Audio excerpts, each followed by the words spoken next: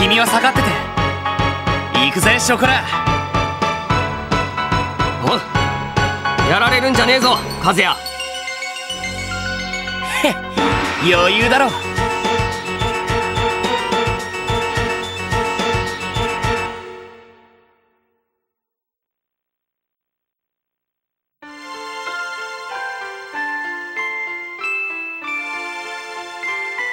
アフロディーテ様起きていて大丈夫なんですか？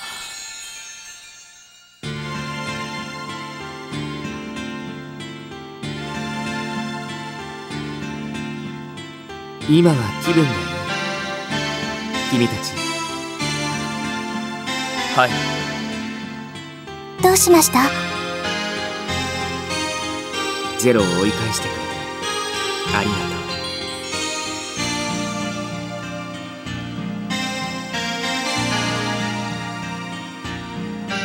ショコラ一人じゃどうにもならなかっただろうからね。アフロディーテ様俺だってちゃんと活躍しましたよ。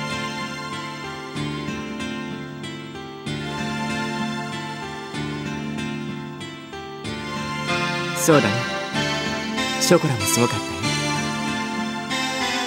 そんなに言われるほどのことはない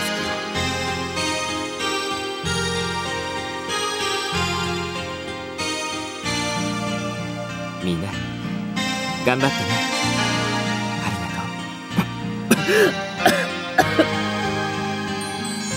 けど アフロディーテ様。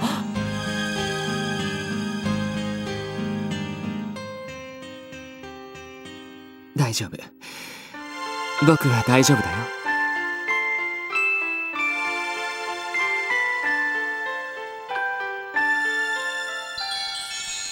アフロディーテ様。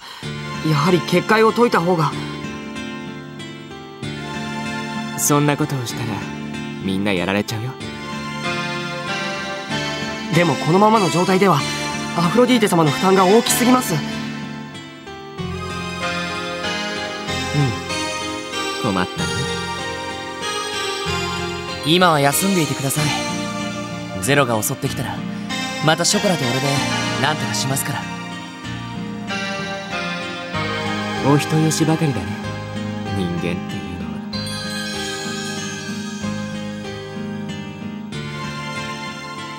僕らは僕らの世界のことを一番に考えている。君たち人間に愛情を持つことなんてないんだ。あまり信頼しない方がいい。力を貸したはずなのにそんな言い方をされるのは腑に落ちませんが。まあいいです。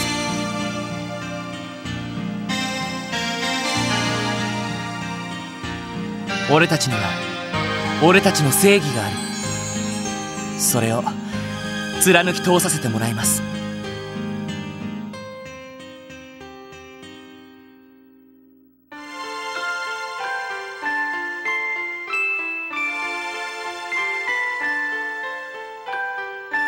君たちの好きにしたらいいよ。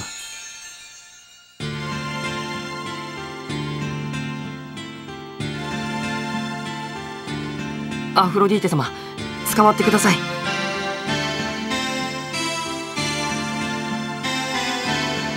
ありがとう。僕は少し休んでいるね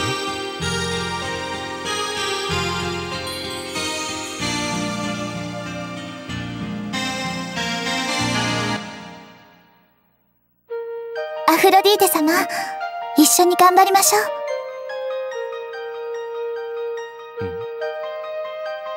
私たちも頑張りますから。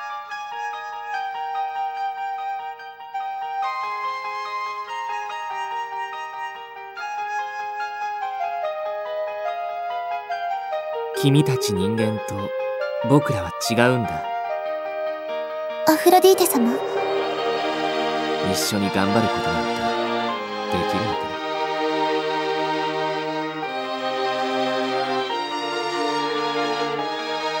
気にしないでいいよ。きっと難しい人なんだ。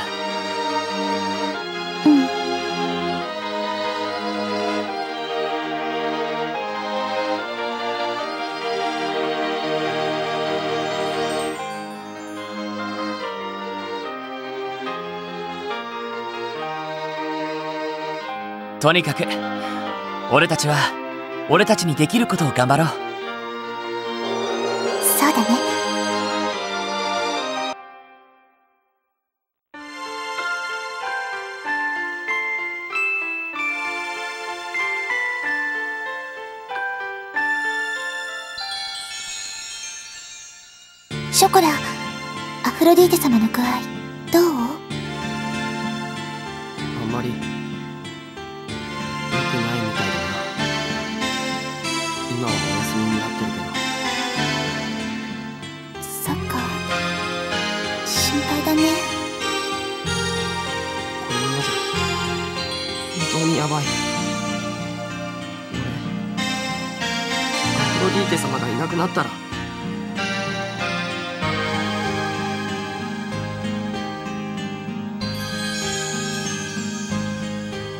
私たちも頑張るから。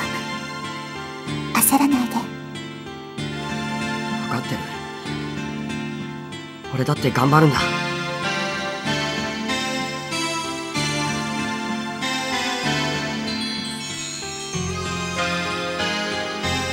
ショコラその指どうしたの？アフロディーテ様と約束をしたんだ。約束？どんなに追い詰められても自分が犠牲になるようなことはしないって。それってどういうこと？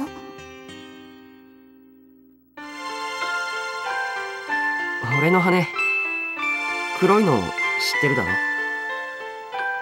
ん。キャンディーが白だよね。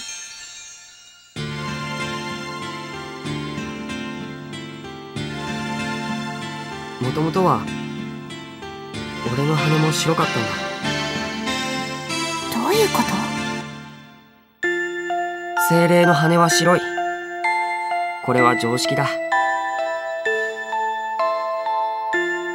ラビリンスにゼロが現れる前にはもっとたくさんの精霊がいてすげえ賑やかだったんだ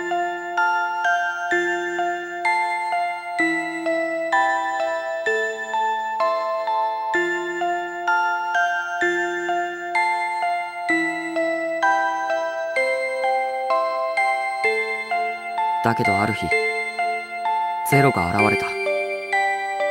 初めは小さな一匹の蛇だった。アフロディーテ様に噛みついてきて俺はすぐにそいつをやっつけたんだ。その頃から人間界とのつながりはあったからまたそっちの世界から変な生き物が飛ばされてきたんだと思った。だけど違った。ゼロはどんどん増えていってアフロディーテ様を見つけては襲いかかってくる。そんな中俺の羽には黒い羽が混じるようになっていった。ショコラだけ？そう。俺だけ。一本。また一本。白い羽が抜けていって黒い羽が生えてくる。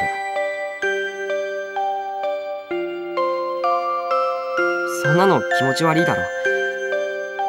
みんな俺を怖がって他の精霊たちは近づかなくなった。キャンディーも？キャンディーだけは別。あいつバカだからさ。俺の羽は病気だから。きっと治るって言って離れようとするどころか変な薬を作ったりしてさ。キャンディーらしいね。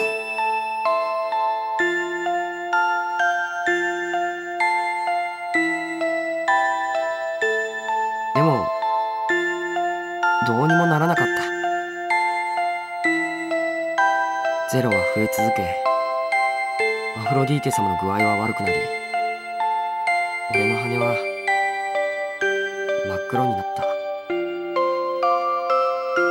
他の精霊たちはみんなゼロを恐れて去っていった。ラビリンスに残ったのは俺とキャンディーとアフロディーテ様の3人だったんだ。どうしてショコラたちも一緒に逃げなかったの？言ったろ。俺たちにとってはアフロディーテ様は親みたいなもんなんだ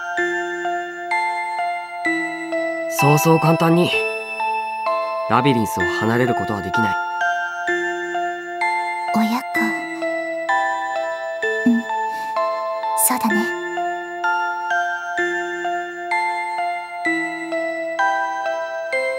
だから約束したの？ゼロには相性がある。誰でもゼロを吸収できるというわけじゃないんだ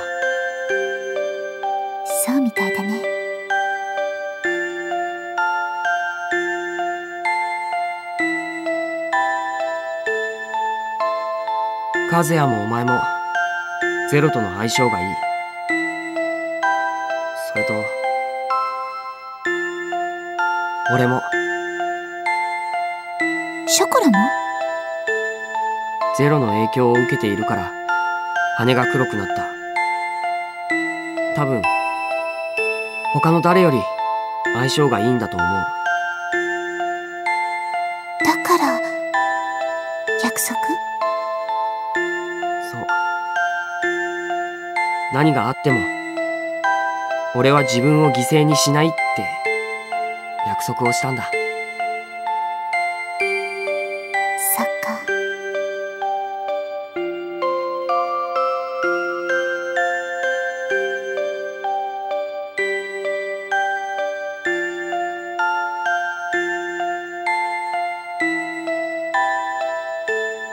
それにしてもあんなに具合の悪いアフロディーテ様初めてだ。私も看病のお手伝いをするよ。でも。ショコラや和也くんはゼロが来たら戦わなきゃいけないでしょ？このくらい私が頑張るよ。お前。優しいな。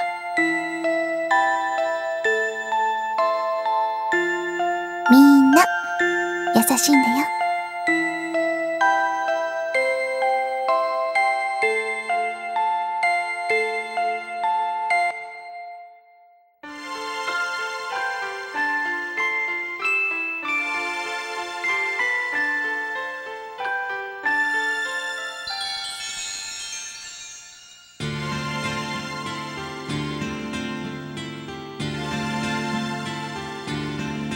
お水持っていこう。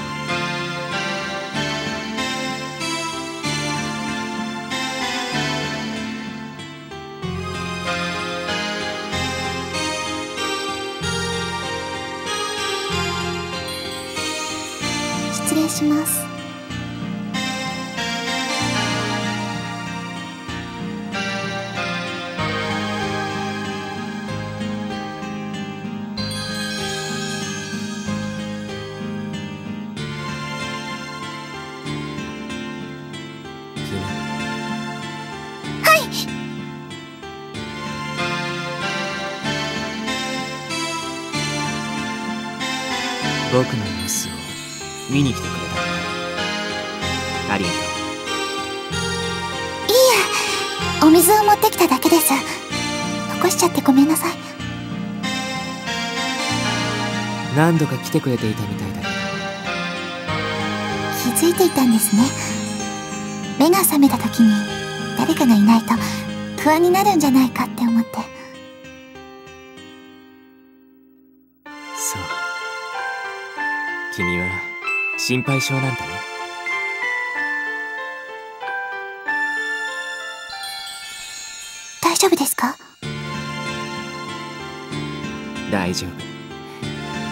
それより話を聞かせて。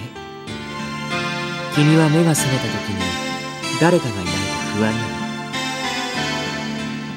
不安になります。具合が悪い時は特に。不思議なことを言うんだね。人間はさよならをする生き物じゃない。かさよならをする生き物？どういう意味ですか？学校とか会社とか集団でいることが好きなくせに期間を決めて最後には必ずさよならをするようになっている。家族だってそう。大人になって親元を離れ子供を産んでも成長して離れていく僕ら理解しにくい習慣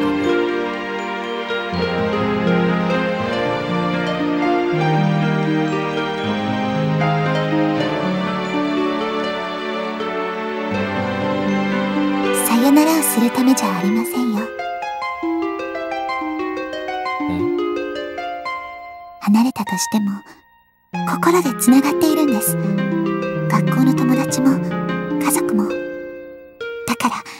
表面的にはさよならに見えてもさよならじゃないんです。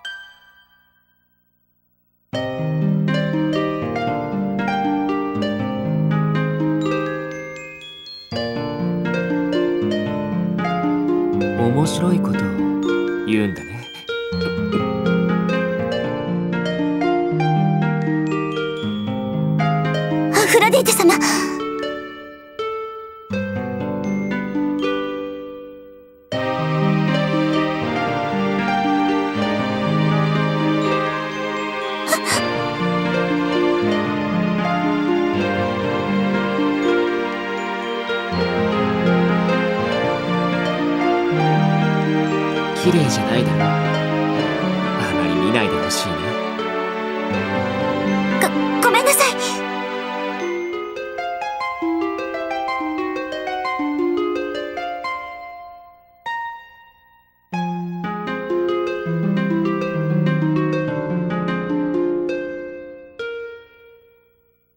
にやられたものですか？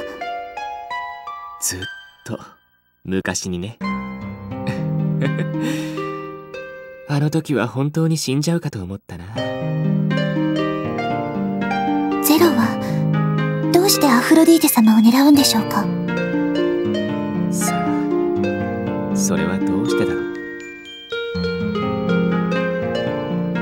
う？そろそろ寝るね。心配してくれてありがとう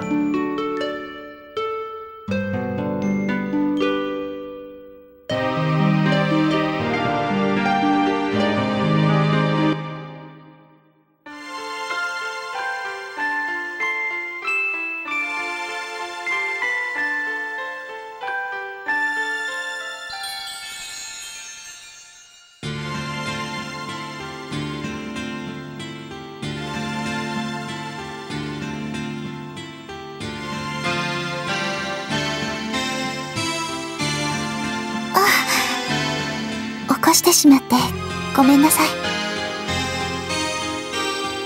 いいよ。起きてたから。あの今日は具合どうですか？まあまあか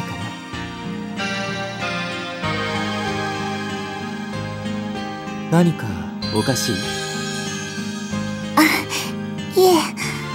お元気そうでよかったなって思って。君はつくづく変わった子だね僕が元気だと嬉しそうな顔をする。もちろんです。アフロディーテ様の具合の悪いと胸が痛みますから。僕は君をゼロの餌にしようとしたんだよ。どうしてそんな僕を心配する？大切なものを守りたい。たとえ何かを犠牲にしたとしてもそんなアフロディーテ様の気持ちはわかりますから。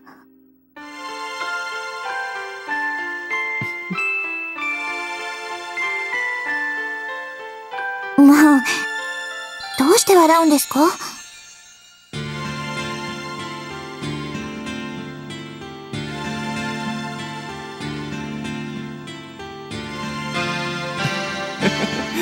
ごめんごめん。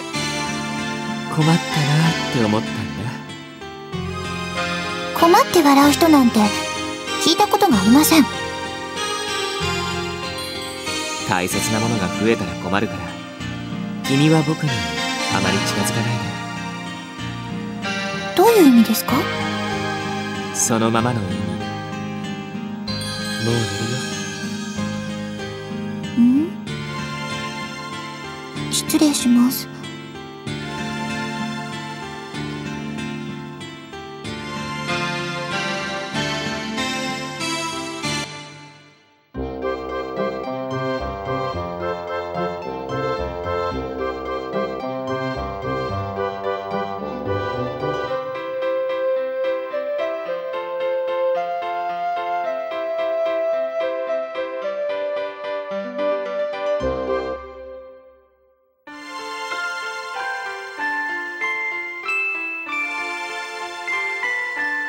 ディーテ様。今日は体調がいいんですか？それなりか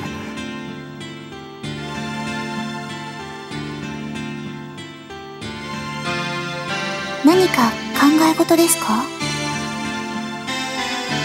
キャンディーがもうすぐ戻ってくるよ。キャンディーが？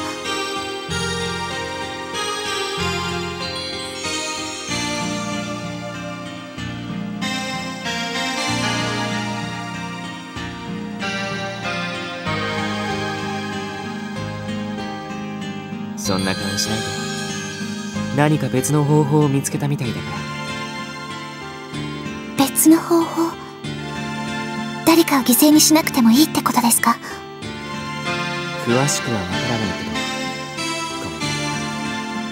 そこまで読めるほど僕の力は残ってないんだ。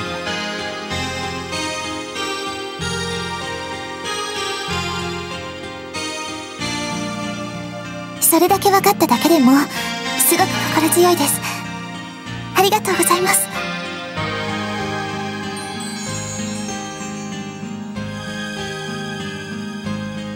今日は随分天気がいいんだね。でも外に出ると風があって寒いんですよ。そうなんだ。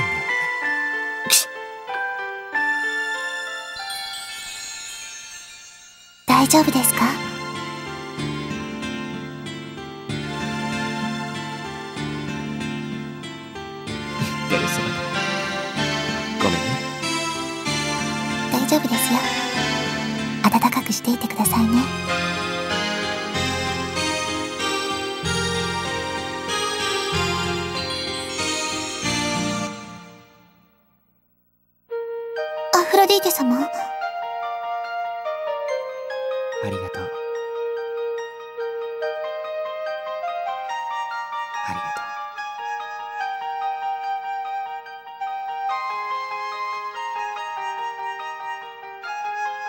いいえ。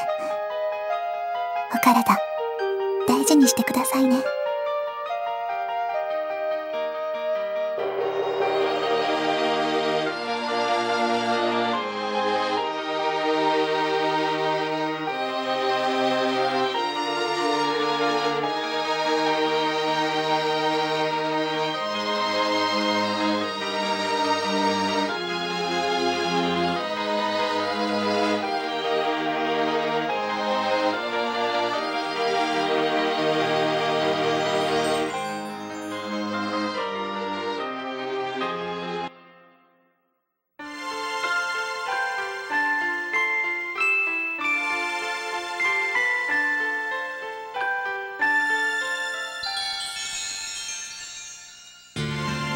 アフロディーテ様起きていて大丈夫なんですか？うん。今日は気分がいいから。今日も来たのはい。アフロディーテ様の具合が気になって。僕のことが心配だったってこそうですね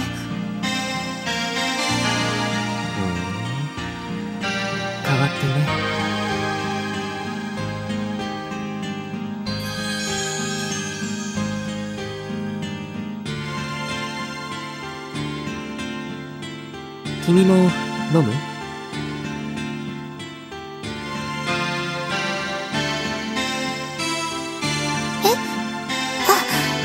ありがとうございます。座って。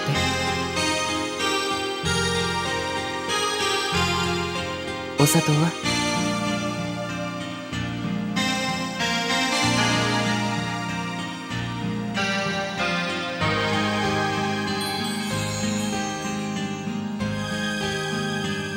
あの私自分でお砂糖を入れますから。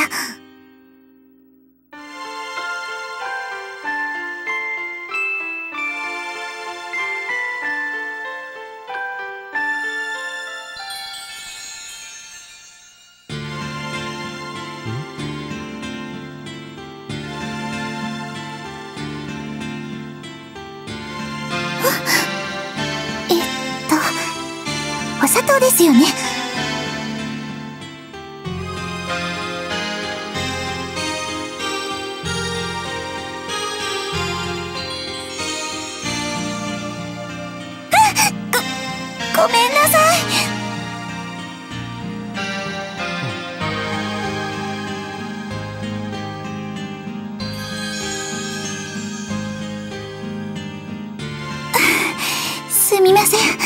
今拭きますから。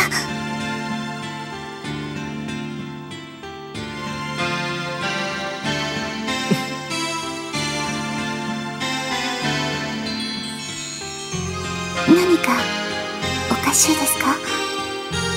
面白いなと思って。僕と一緒じゃゆっくりお茶は楽しめない？そんなことないです。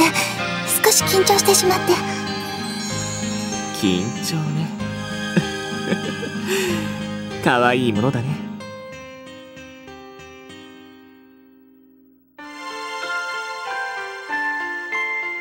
ああすみません。すぐに片付けますから。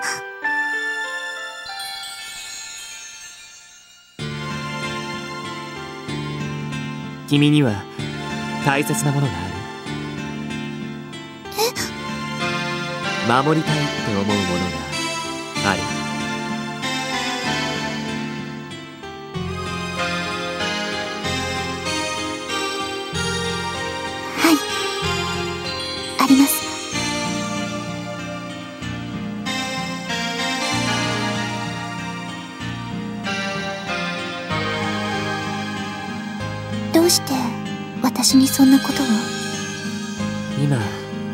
大切なものが増えそうで困ってるんだ。いいじゃないですか。大切なものが増えるのは素敵なことだと思います。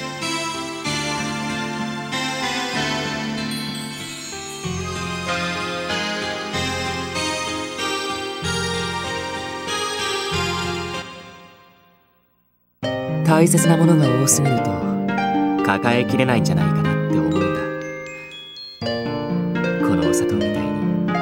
指の隙間からこぼれて結局全て失って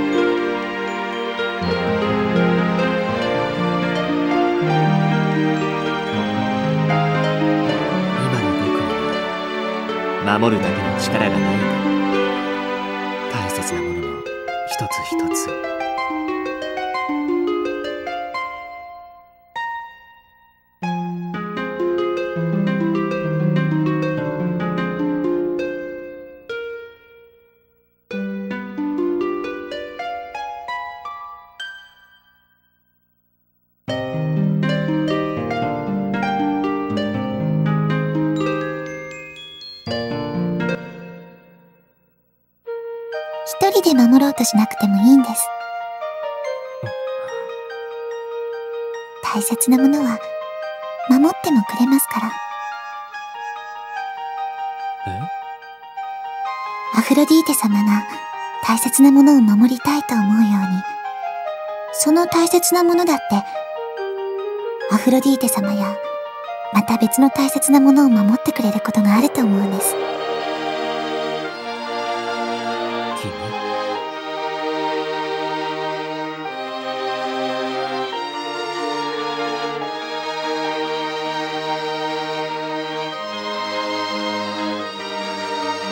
私だって大切なものを守りたいです。だから不安になることなんて何一つないんですよ。そっか。やっぱり君はすごいね。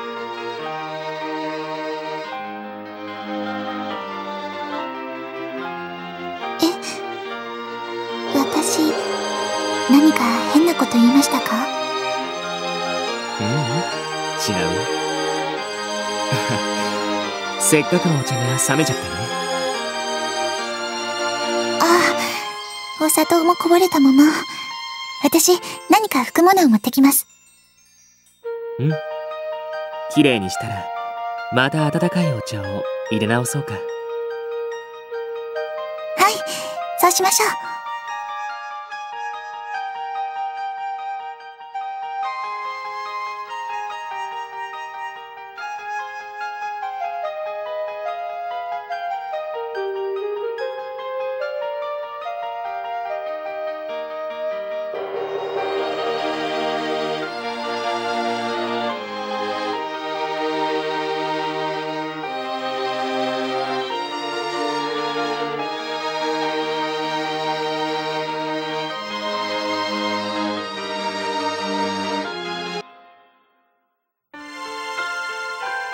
します。